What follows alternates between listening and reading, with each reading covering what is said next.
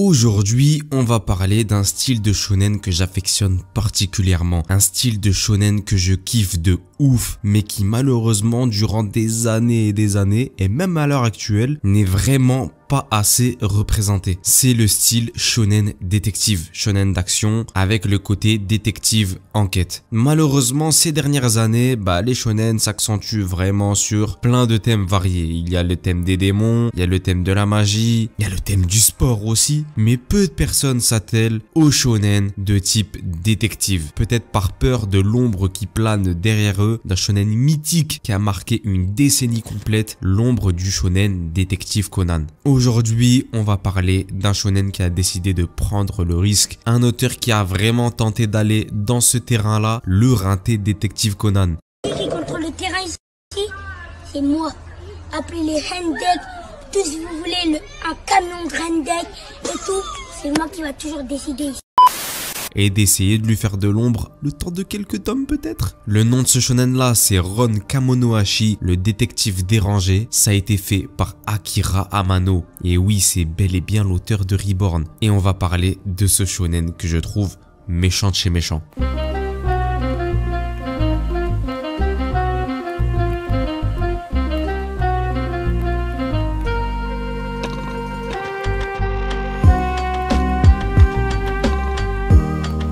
Ron Kamonohashi, c'est un shonen qui a été écrit et dessiné par Akira Amano. C'est réalisé par la Shueisha dans le Shonen Jump Plus à partir d'octobre 2020. À l'heure où je te parle, il y a 12 tomes et il y a même eu une saison 1 réalisée par Diomedea qui a été publiée en décembre 2023. Saison 1 disponible sur Crunchyroll et en plus de cela, à la fin de la saison 1 directement, une saison 2 a direct été annoncée. L'histoire de Ron Kamonohashi, ça raconte quoi? Imagine-toi une école, une école de détectives, celle qui forme les détectives les plus forts de la planète, avec des professeurs tous ultra forts et ultra spécialisés dans leur domaine. Il y a un prof d'enquête à huis clos, un prof de filature, un prof sur les poisons, un prof sur la criminologie, et il y a aussi un prof d'abonnement et de cloche. Dans cette école-là, c'est moi le prof en fait. J'apprends à tous les élèves de mettre la cloche et de s'abonner à la chaîne Altosan. Pourquoi? Car il y a une à deux vidéos par semaine, tous les mercredis, samedi, 19h. Ça bouge pas. Bon, ça a bougé un petit peu cette semaine, vidéo elle est sortie jeudi.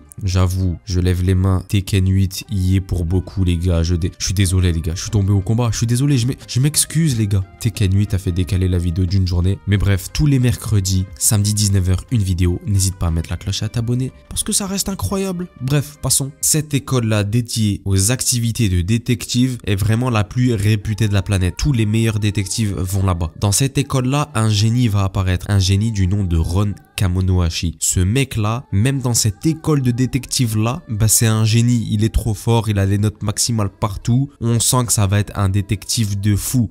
Carrément, les profs, quand ils le voient, ils se disent il va rester plus aucune enquête non élucidée, tellement il va tous les régler. Ça se passe super bien, sauf qu'un jour, lors d'une enquête pratique, l'école Blue va bah, s'allier à la police pour former un petit peu ces jeunes détectives. C'est-à-dire que les élèves, on les met dans des cas, mais réels en fait. Imagine que c'est un petit stage, voilà. Toi, ton stage, tu le passes à la pharmacie. Bah, eux, leur petit stage, bah, ils étaient en plein, en plein crime réel en fait. Ce jour-là, notre Ron Kamonohashi, lui, il est sur une enquête visant 7 malfrats, auteurs de meurtre. Et la mission, c'est de trouver où est-ce qu'ils habitent, où est-ce qu'ils sont, où est-ce qu'ils se cachent. Il va réussir à trouver leur emplacement, sauf que lorsque la police va se déplacer à cet endroit-là, Ron les aura doublés et en ouvrant la porte, la police verra ces sept personnes, ces sept criminels ensanglantés sur le sol, tous morts avec Ron au milieu de la salle debout, un couteau à la main, rempli de leur sang. À la suite de cette affaire qu'on va appeler la classe ensanglantée, Ron va perdre définitivement son droit de devenir détective à la suite de ça. Bon les gars, entre nous, on va se parler entre nous parce que c'est bon, c'est un petit peu un truc qui me tilt. Dans la vraie vie, euh, tu tues cette personne, homicide à coup de couteau, t'as beau être détective ou je sais pas quoi, à la fin de la journée, t'es avec Scofield normalement, tu vois. Mais bon, c'est pas grave. L'école Blue va trouver du coup un arrangement pour bah, déjà virer son élève Ron Kamonohashi et l'empêcher de devenir détective dans le futur. L'affaire de cette classe ensanglantée restera un mystère pour beaucoup. Comment se fait-il que ce détective-là les a tués? On n'en sait rien. Pourquoi Ron aurait tué 7 mecs, 7 criminels, 7 malfrats, alors qu'il les avait trouvés et que la police allait du coup sur les lieux du crime? Ron par la suite dira qu'il ne se rappelle de rien, c'est-à-dire qu'il ne se rappelle pas de cette scène. Lui, il se rappelle juste de s'être réveillé avec un couteau à la main et les 7 mecs allongés devant lui. Et si tu croyais que Ron Kamonohashi allait être le personnage principal de l'histoire, tu te trompes car c'est un piège. Car l'histoire se déroule 5 ans après cet événement-là. On est directement avec Totomaru Ishiki, le détective le plus nul. Bah non, ils sont nuls. Ouais, parfaitement, je vais, je le dire ça.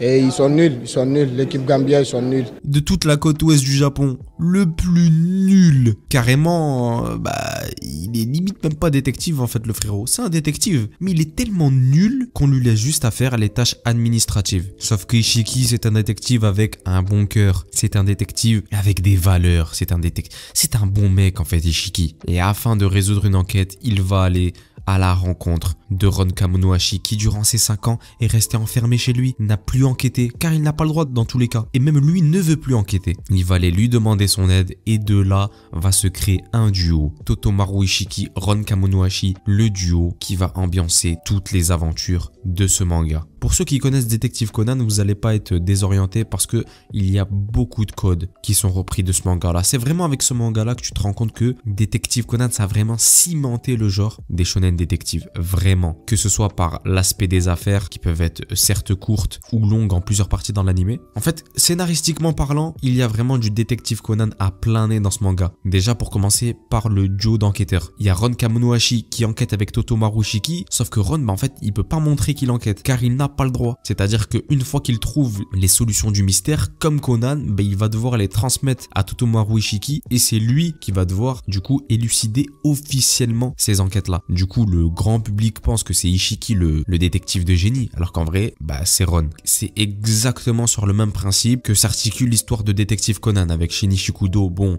c'est un enfant, il peut pas montrer que c'est un enquêteur. Et l'enquêteur éclaté qui est Kogoro quand même. C'est exactement ça. Pareil au niveau du scénario, bah, Détective Conan, il y a des enquêtes qui ont pas forcément de lien avec l'histoire. Donc en fait, il y a une série de petites enquêtes, petites enquêtes, petites enquêtes qui durent aller un épisode, deux épisodes grand max. Il y a certaines grosses enquêtes qui, elles, sont directement reliées à l'intrigue principale de l'œuvre. Et cette saison 1, surtout de l'animé, elle permet de mettre sur pied cette histoire. En fait, c'est uniquement à la fin de la saison 1 que tu rentres vraiment dans le vrai de l'histoire. Parce que juste avant, c'était une mise en bouche, quelques enquêtes par-ci par-là qui sont stylées. Après, il y a bien sûr des grosses enquêtes qui durent plusieurs parties, c'est-à-dire plusieurs épisodes qui, elles, sont vraiment incroyables et rattachées directement à la narration principale. La grosse enquête, par exemple, du meurtre de l'observatoire, qui est la plus grosse enquête de la saison 1 et celle qui fait vraiment avancer le scénario, par exemple, en fait partie. Et qu'est-ce que c'est kiffant en fait de revoir ces codes-là, les codes de détective Conan, dans un shonen vraiment récent cette fois-ci, avec le style graphique d'Akira Amano, qui même dans l'animé, tu le sens en fait. Qu'est-ce que les enquêtes sont bien. Après, bien sûr,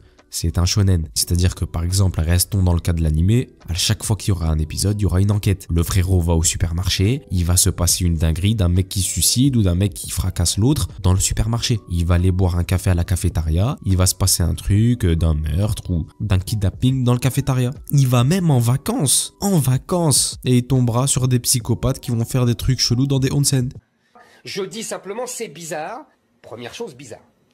Deuxième chose bizarre, je trouve ça euh, pour le moins bizarre. Je n'accuse personne, je ne dis pas que euh, est coupable, je dis simplement c'est curieux.